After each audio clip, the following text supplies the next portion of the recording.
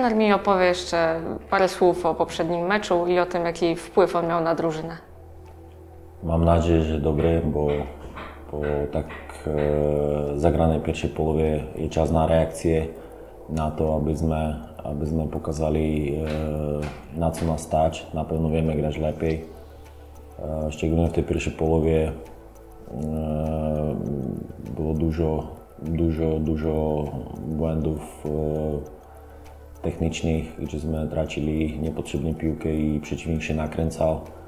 Do tego sme tr- e, słabiej biegali, no i to miało, miało wpływ na ten obraz tego, tej pierwszej połowy. W drugiej połowie sme i zmienili nastavenie i přišli noví chłopci. Ten meč trošičky inaczej wyglądał. E, Zdążyli sme wyrównać i wyglądało na to, że możemy coś więcej zrobić w tym meczu.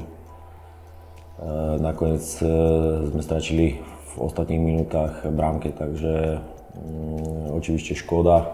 Myślę, że na więcej jak na ten punkt, e, tak jak powiedziałem, w tym meczu nie zasłużyli. Mm, Natomiast jestem pewny tego, że, że mm, możemy i będziemy grać lepiej, także czas na reakcję. No i właśnie teraz ta reakcja, ale mecz dosyć trudny, bo Raków to lider. Gramy na jego terenie, do tego świetna seria, y, bez porażki, 7 meczów, jeżeli dobrze pamiętam, w tym 4 ostatnie zwycięstwa. Jak y, ten Raków zneutralizować? W każdym razie trzeba przyznać to, że Raków jest e, spółki mm, najtrudniejszy, jak nie w ogóle najtrudniejszy rywal dla wszystkich, wszystkich zespołów w Ekstraklasie. Jest e, bardzo mocny, ale tak jak powiedziałem e, wcześniej, my jesteśmy w stanie pokonać każdego, czy doma, czy na wyjeździe. Będziemy się starali, e, wiadomo, utrudnić mecz Rakowowi. Jak będziemy grać swoje, będziemy grać dobrze, tak mamy, mamy szansę na dobry wynik.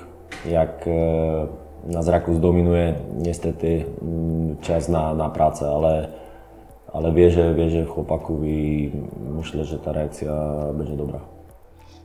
A jakie są główne atuty Rakowa?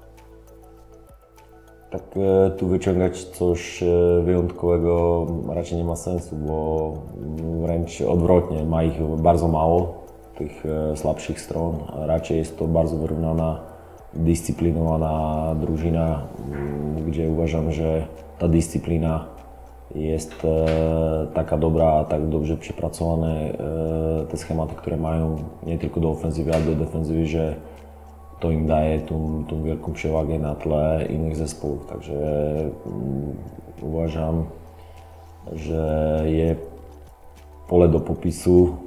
Myślę, że tych słabych punktów jest tam mało, także trzeba uważać na wszystko. Stałe fragmenty, bardzo szybkie przejście e, w kontrataku,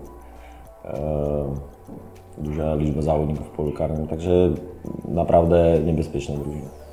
Okej, jak wygląda u nas sytuacja kadrowa przed tym meczem? E, tak jak to była, cały czas się staramy dostać wszystkich zawodników jakby na boisko, abyśmy mieli ten komfort e, e, decyzyjności i wybrać tych zawodników najlepszych, aby taki, co mają na, na ten mecz jechać. W tym momencie tam mamy dwie zapytania. Z tego je, raczej na 100% e, Igor. Igor nie będzie do dyspozycji i o resztę się staramy, aby, aby było wszystko ok, także w tym momencie może być.